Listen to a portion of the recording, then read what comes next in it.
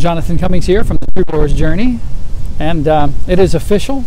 On May 10th, I will be performing at the largest venues I've performed at. It is a 3,000 seat plus capacity arena in Houston, Texas.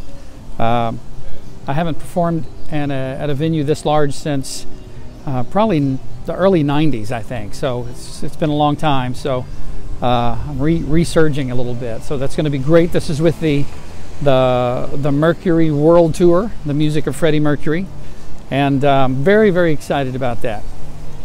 So uh, that's official. I think the tickets are on sale now. It's uh, it's in Houston, Texas. I'm not sure the name of the, the venue, but uh, Houston, Texas Arena. Um, anyways, tonight I'm here at Tommy Bahama from 5:30 to 9:30 at a a little bit of a smaller venue. This one only seats, you know, just a few people. So, so if you're in the area, I'd love to see you. Come on by. I'll be here from 5:30 to 9:30. Uh, it's a beautiful day here in Florida. Don't uh, don't uh, get excited because I'm wearing a coat. You know, I'm, I'm I get cold when it gets about 64 degrees. So, um, you live here long enough, your blood thins out. All right, everybody. It's about the music. We'll see you soon.